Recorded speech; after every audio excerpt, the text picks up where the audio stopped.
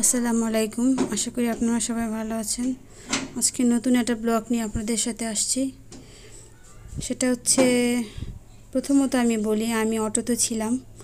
আমি এই জন্য আপনাদের ভয়েস ওভার দিয়ে বলতেছিলাম যা, আমি আপনার ভাইয়া আর আমার ছোটো মেয়ে, আমরা যেখানে আগে থাকতাম, আমার বাড়ি করার আগে, সেখানে একটু বেড়াতে গেছিলাম।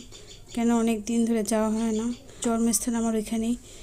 আর এখানে এখন আসছি কেমন কেমন লাগে, ভালো লাগে না। এটা আস্তে আস্তে ঠিক হয়ে যাবে আশা করি। এই জন্য বলছি একটু চলো, ঘুরে আসি। আপনার ভাই বলছে, না, এখন আর যাওয়া যাবে না। তাই আমি বলছি, না, তুমি চলো। পরে আপনার ভাইয়া নিয়ে গেছে।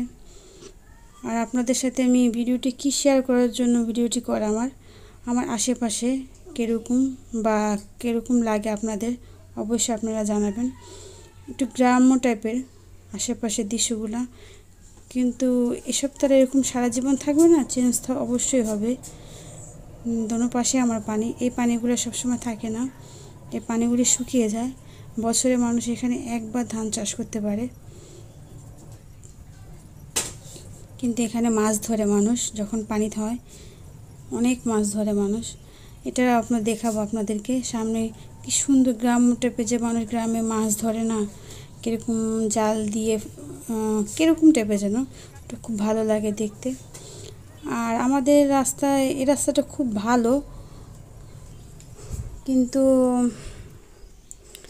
ইটের রাস্তা তো অতি পরিমাণ শব্দ। মানে শব্দের জন্য কোনো ভিডিও ঠিক মতো করা যাবে না। আর তো অটো শব্দ তো বুঝেনি। দেখেন আশেপাশে অনেক সুন্দর লাগে।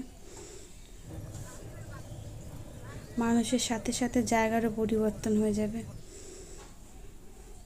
আপনার ভাইয়া বলতেছে, তুমি এত শব্দ ভিডিও ভয়েস ওভার দিলে তো ভিডিও শব্দ হবে না তখন।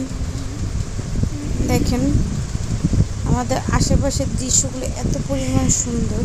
যেমন এই দুনো পাশে আমাদের পানি হয়, এখানে মানুষ বছরে একবার ধান চাষ করতে পারে আর সব সময় পানি থাকে। এখানে একটা নতুন রেস্টুরেন্ট উঠাই দিছে আশা করি একদিন এখানেও আসব, আপনাদেরকে দেখাবো। আর যখন এখানে বৃষ্টি হয়, বৃষ্টিতে পানি জমে যায়, তখন অনেক পরিমাণ মাছ থাকে। এখানে মাছ ধরে সবাই। আর আমি বলছিলাম যে আমাদের এখানে অনেক রেস্টুরেন্ট আছে, কিন্তু তেমন খাবারটা ভালো না। দেখেন এখানে মাছ ধরতেছিল, ভিডিওটি এখানে শেষ।